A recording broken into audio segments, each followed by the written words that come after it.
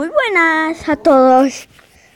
Hoy les traigo un vídeo de cómo descargar Minecraft Pocket Edition gratis y normal.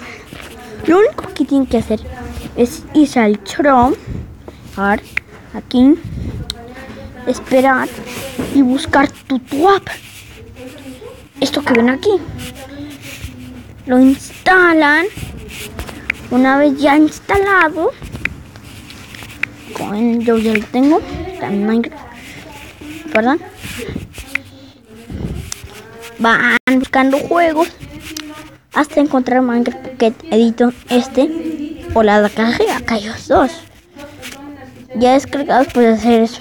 Si quieres esto que están hackeados también son Frontier, eso les hablo mucho.